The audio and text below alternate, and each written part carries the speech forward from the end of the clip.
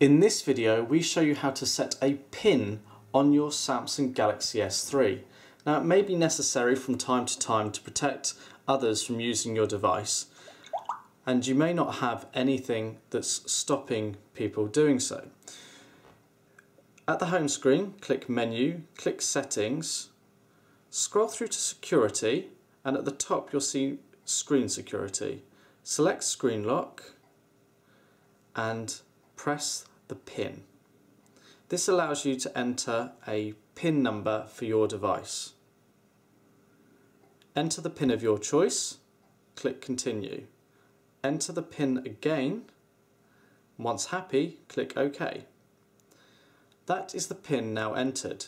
If we power the screen off and power it back on, we'll now see it's asking for the PIN code.